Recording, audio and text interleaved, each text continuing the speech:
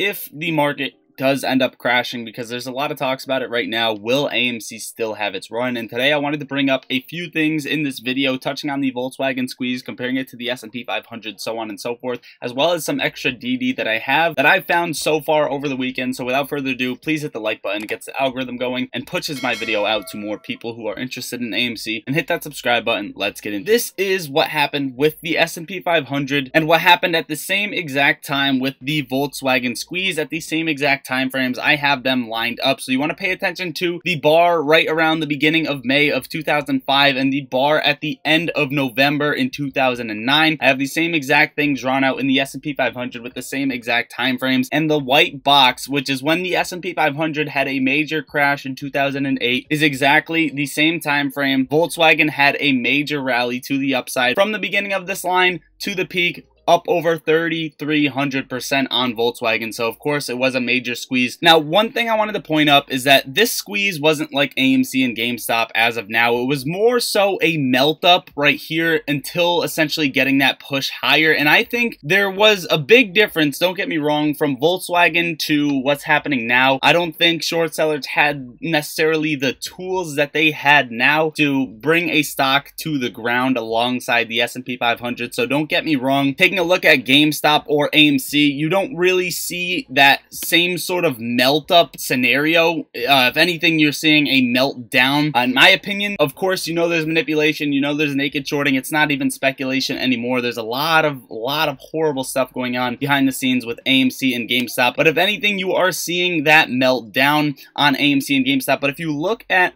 the S&P 500 uh, and where it's trading now, you're kind of seeing the same thing that happened back here, right? You, you get this little bit of a melt up and then you hit a peak and you start selling off for a decent amount of time, gradually, gradually selling off. And there's a lot of uncertainty right now, especially with war, especially with the Federal Reserve raising interest rates. And there is a high possibility that the S&P 500 can just get a major, major hit to the downside, something looking like what happened in 2008, if not even worse. So what I want wanted to point out is it looks to me as if the S&P 500 was scaling up, short sellers continued to short Volkswagen, and they also had to continue to cover and get out of these positions, and you saw it continuously scaling up, scaling up, scaling up. Now, of course, there were catalysts, right? The whole Porsche situation. If you guys don't know the Volkswagen squeeze, make sure to go watch a video on it. There's the Volkswagen squeeze, and there's the DGAZF squeeze. That gathers a lot of people's attention, so make sure to go educate yourself on both of those squeezes. But Volkswagen basically had a melt up. GameStop, AMC are melting down, but they are melting down based off of what we're seeing, right? We know that the cost to borrow is extremely high on AMC. We know they don't have any shares left to drop AMC. And with that being said, I think they're actually getting themselves stuck in a very bad situation, whether the S&P 500 falls or whether this thing starts to fly to the upside because again, hedge funds have to hedge. Back here in 2008, leading up to 2008, it looks like they made the wrong moves hedging up to that time period. And we just saw the S&P 500 run only up to about $403, and we saw that short sellers lost 81 billion. Basically, what I'm trying to get at here is the SPY is going to get very volatile alongside the cycles that AMC is playing out, alongside earnings, alongside the reverse split, alongside the conversion. There is too much to handle to be able to hedge perfectly, and there's also not any any more shares to be able to knock knock the thing down. Now, there's, of course, a couple things I wanted to touch on on AMC's chart, but basically, the SPY is going to have a hard move one way or the other, and I'm fine with either way. I definitely don't think a crash is going to invalidate AMC squeezing at all, and I wanted just to bring this to your guys' attention. I also do believe that AMC will be much larger than the Volkswagen squeeze, much larger than anything has ever seen in this entire market. Now, we touched on these little bit of cycles here in the most recent video in the white, which is basically what AMC is playing out, and it could be one case scenario. However, this time is a little bit different. If I bring the cycle in right here, it does match to a T, and with that being said, I assume AMC is going to scale up to about $7.30,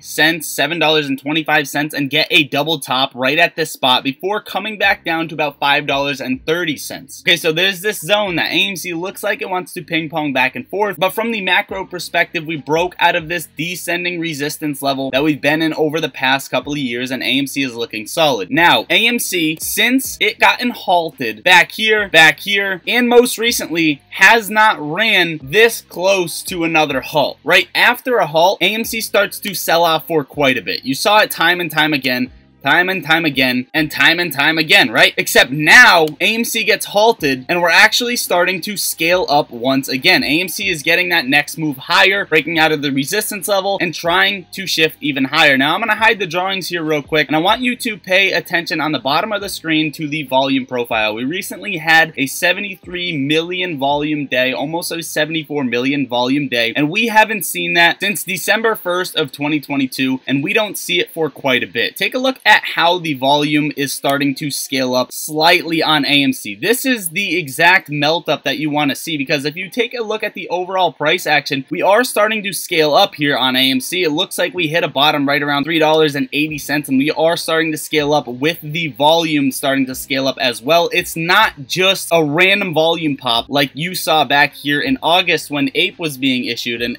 when Ape was announced or like you saw back here in March of 2022. It's not like that this time. You're starting to see volume slowly, slowly start to scale up in spurs. 50 million, 60 million, now sitting in that 70 million spur, which is exactly what you want to see leading up towards a short squeeze or a dramatic price increase in general. Now, not saying this is what we're tracking right here back in June when we ran to $72, but if you take a look at the volume, this is kind of where we're trading at right now, right? You get that increase in volume, you start to scale downwards, get that healthy retracement before getting that second rip even higher and breaking the algorithm algorithm. Now, this time is different, right? It's running uh, very closely after a halt. It's sitting in the cycle period. It's sitting at the most convenient time frame. Cost to borrow is extremely high. There's a ton of pressure on short sellers. They don't have shares available to borrow against the stock. They're trying to file lawsuits to pause the conversion, and we have earnings coming next week, February 28th on AMC, assuming we are going to be at least getting closer to going cash flow positive. Now, take a look at the fails to deliver chart. Take a look at how many fails to deliver have been stacking up over the past few months. Now, AMC has been on the threshold securities list for more than 16 days so far. It has never happened, right? This has never happened with this stock. What's happening right now is not only do you have that heavy, heavy pressure on short sellers, but they also have this pressure where, yo, we got to bounce these fails to deliver to you. We got to bounce the fails to deliver to you, to you, to you, to you, to you, to you, to you, just to continuously reset the cycle. They're getting an obligation, they're getting another obligation, another obligation until the system is going to crumble. Now, again,